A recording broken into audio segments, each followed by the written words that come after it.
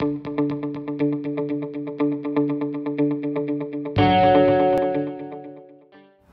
guys, so so far in the orientation course you've heard from a lot of folks um, who have given you a lot of really good advice uh, as far as being successful here at Sandhills. Um, as you move along as a student and things start to come up, you start to hit some roadblocks or, or have some challenges with academics or personal life, um, just know that that is a very common thing um, that happens along your educational journey. And we've got some really nice folks here in this segment who are going to tell you about the resources that they provide that can help you sort of overcome those obstacles and keep you moving uh, down your path of success.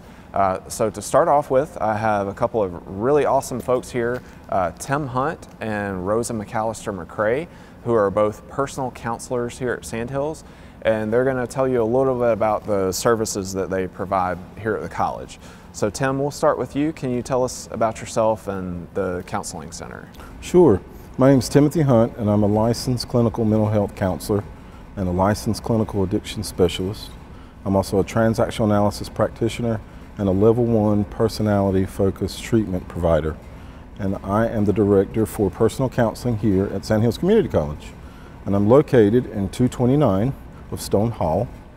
And myself and Miss Rosa McAllister McCray, we are the face for mental health here at Sandhills Community College.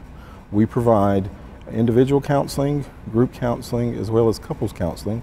But with COVID 19, those services currently are being provided telephonically or video session. And so, how can students get in touch with you to set up one of those um, sessions with you guys? So the best way currently is through email or phone. Um, they can call or they can email us, um, as well as I've had students send messages over Instagram uh, to set up sessions.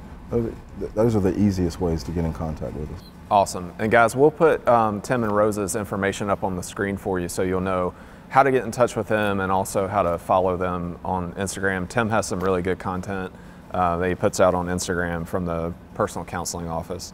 Um, so, Tim, in regard to personal counseling, when should a student reach out to you guys to have a conversation? Like, at what point, you know, in their in their journey or um, when things start coming up, should they reach out to you guys? So, my my basic philosophy about therapy and about counseling is everybody needs a therapist, and uh, there's never a perfect time. You know, anytime you anytime you feel like you need somebody that's going to be non-judgmental.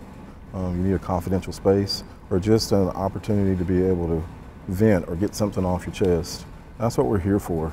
Um, I think the this age group of 18 to 20 or 30 to 40 or 50 to 60, whatever age you're at, this is the time to work on yourself. You don't necessarily have to have a mental health issue. We can also do what we call personal growth sessions it's just helping you to figure out whatever it is that you want to address to help you to move into the next phase of your life.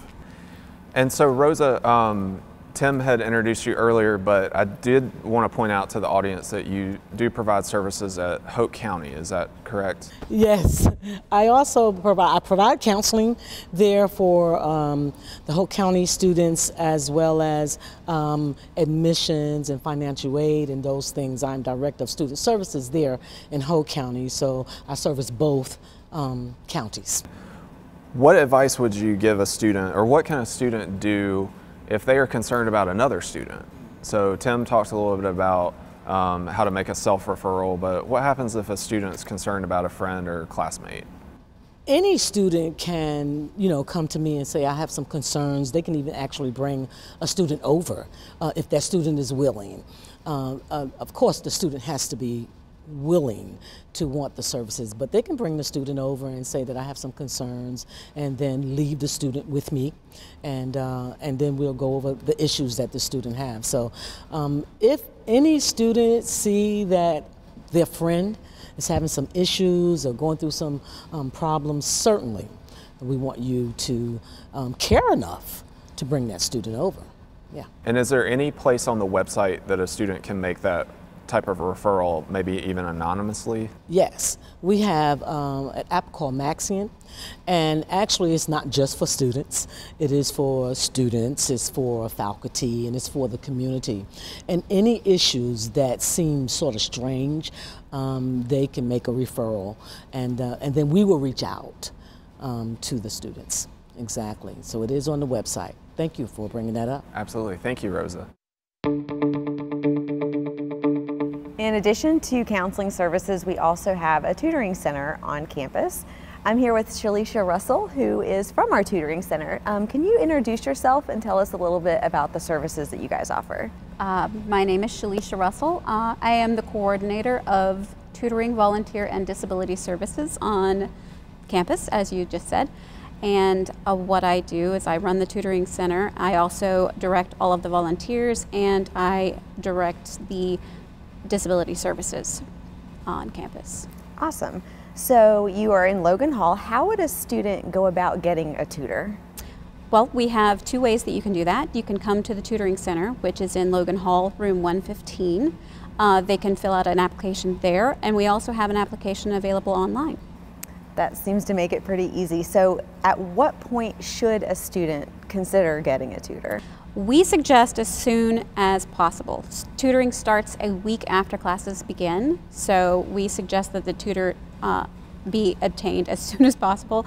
They can uh, apply as soon as classes begin, and we start this, the process of apply, you know, finding a tutor for them as soon as we can and actually get them assigned and um, that set in place as quickly as possible.